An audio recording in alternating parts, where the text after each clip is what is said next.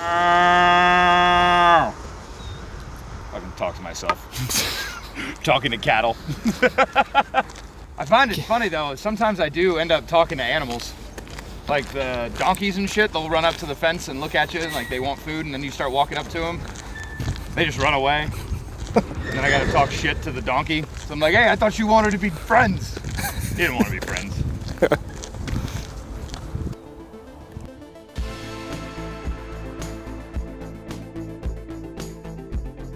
Going the extra mile, or should we say extra few hundred miles of that, is walking across the country. A Maryland man has been walking across the country since September 11th of last year. While his journey may be physically painful, the ultimate goal is healing. And so Jon Hancock walks, hoping to leave his own signature on the hearts and minds of those he encounters, and not without a little humor. Just make my butt look good.